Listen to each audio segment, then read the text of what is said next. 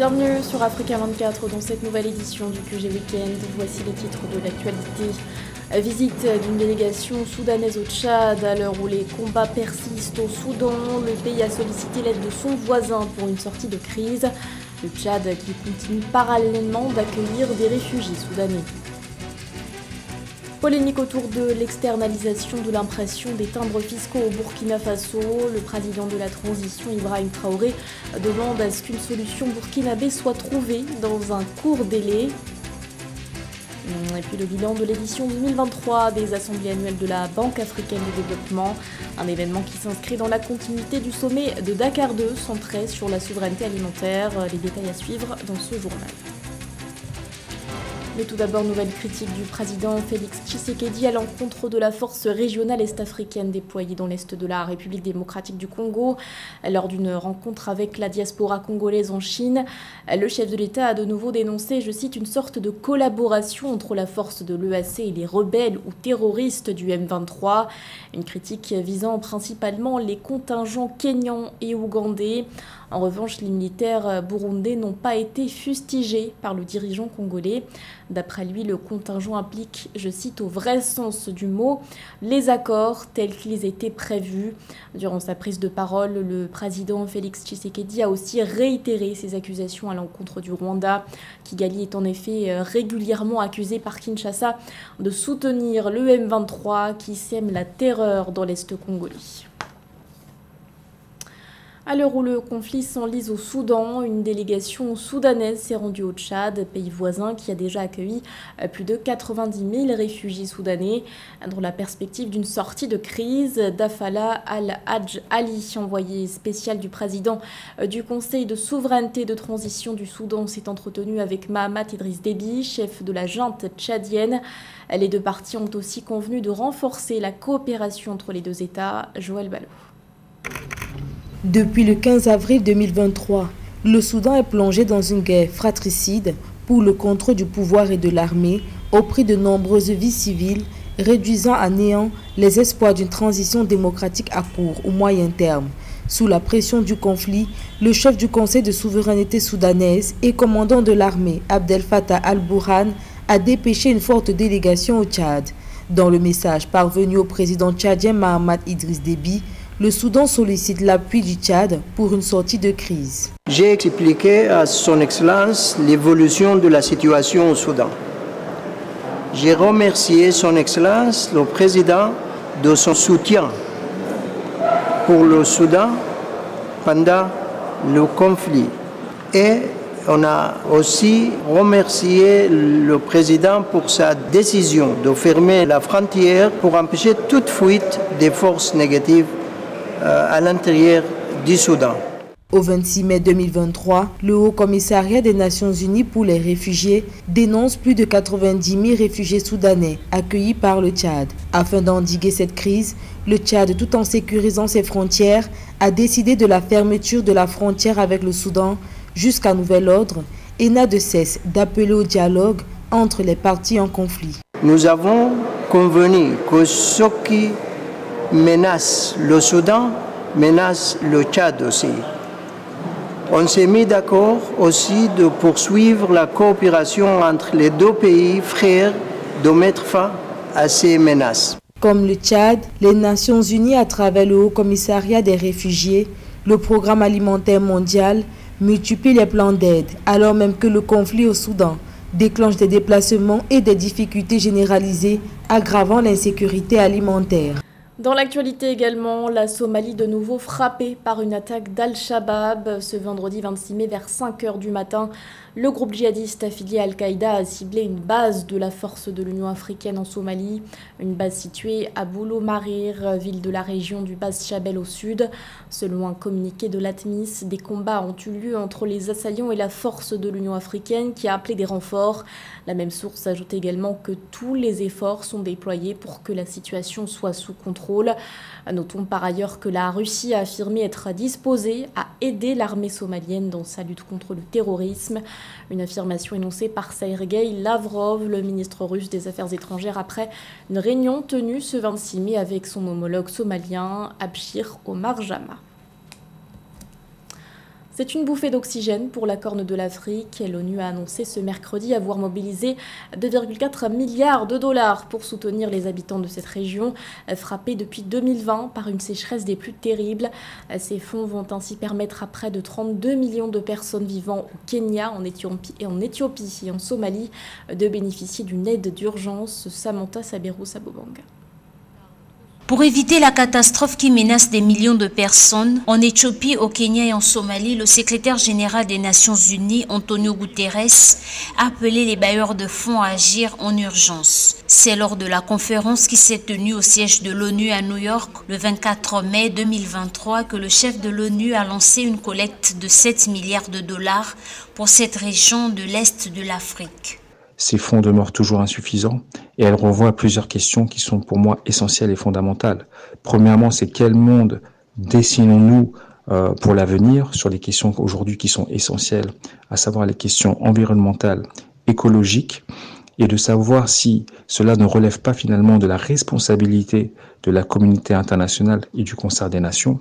Bien que l'ONU espérait récolter 7 milliards, c'est finalement 2,4 milliards de dollars de dons qu'ils ont reçu des donateurs. Les fonds vont permettre aux humanitaires d'acheminer les produits alimentaires et d'assurer des soins médicaux à près de 32 millions de personnes en Éthiopie, au Kenya et en Somalie. Secondement aussi, c'est de revoir finalement le mode de fonctionnement et aussi les lignes directrices qui sont adressées à ces pays-là qui sont exposés à des catastrophes euh, climatiques, sachant qu'ils ont ce paradoxe, c'est de finalement d'avoir des émissions de carbone qui sont relativement faibles puisqu'on les, pour ne serait-ce que pour la Somalie, l'Éthiopie et le Kenya, elles ne produisent que 0,1% de carbone. Dernièrement, il faut donc que ces États prennent de, en lieu et place de voir uniquement le prisme de la croissance économique, de prendre en premier lieu le prisme de la situation environnementale et de faire face à ces catastrophes qui malheureusement risquent de se reproduire à l'avenir. La Corne de l'Afrique est en état d'alerte avec cette sécheresse record depuis trois ans. En effet, depuis 2016, 8 des 13 saisons de pluie ont été inférieures à la normale, selon les données du Centre d'études des risques climatiques Climate Hazard Centre. Plus de 43 millions de personnes dans les trois pays souffrent de l'une des pires sécheresses de l'histoire récente. À cela s'ajoutent des années de conflits armés et d'insécurité qui ont provoqué des déplacements massifs. À ce jour, aucune famine n'a toutefois été pour l'instant officiellement déclarée.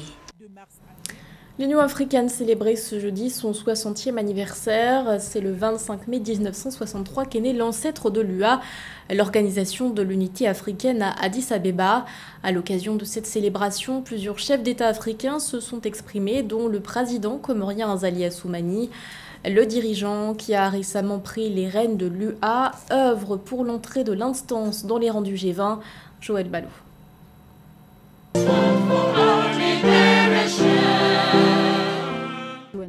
Le 25 mai 1963, de l'union de 32 États africains est née l'Organisation de l'Unité africaine OUA. Cette structure avait pour objectif de tracer la voie à suivre pour l'indépendance complète de l'Afrique. Placée en 2023 sous le slogan Notre Afrique, notre avenir, la célébration du 60e anniversaire de l'OUA intervient au moment où les 55 pays membres de l'organisation multiplient les actions en faveur du maintien et la promotion de la paix sur le continent africain. Le moment est venu de permettre à la voix de l'Afrique de résonner partout dans le monde. C'est dans ce sens qu'immédiatement après ma prise de fonction à la tête de notre organisation, j'ai pris le relais du plaidoyer que faisait mon prédécesseur, mon frère, le président Macky Sall, pour convaincre nos homologues du G20 de l'impérieuse nécessité pour l'Union africaine de devenir un membre à part entière de cette institution. C'est à travers cette présence permanente que notre organisation, l'Union africaine, aura la possibilité de donner son avis, et notamment sur les grandes décisions économiques et financières le concernant. En 60 ans, l'Union africaine a démontré combien l'Afrique regorge de potentialités humaines et de ressources naturelles immenses notamment grâce à diverses réalisations telles la mise en œuvre de la ZLECAF. Cependant, les changements anticonstitutionnels de pouvoir se sont multipliés, le terrorisme perdure et par conséquent, la paix, la sécurité, la démocratie et le développement de l'Afrique sont menacés dans plusieurs contrées. Au choc lié aux facteurs classiques comme le service atroce de la dette ou de la chute des prix des matières premières, se sont ajoutées les conséquences de l'intensification de la lutte hégémonique entre les grandes puissances. Dans ce contexte international de confrontation d'intérêts géopolitiques divergents, la volonté de chacun menace de transformer l'Afrique en un champ de bataille géostratégique, recréant ainsi une nouvelle version de la guerre froide très préjudiciable à l'efficacité du multilatéralisme sur laquelle la paix mondiale et la sécurité dépendent. Comme l'indique le président de la Commission de l'Union africaine, cette célébration replonge l'Afrique dans l'idéologie des pères fondateurs de l'OUA. Cet anniversaire est aussi l'occasion pour les Africains de renforcer l'idéal de l'unité afin de concrétiser le nouvel esprit du panafricanisme. Au Burkina Faso, l'externalisation de l'impression des timbres fiscaux pose problème. Le 23 mai, la Direction générale des impôts a présenté un nouveau timbre fiscal numérique de 200 francs CFA imprimé en France.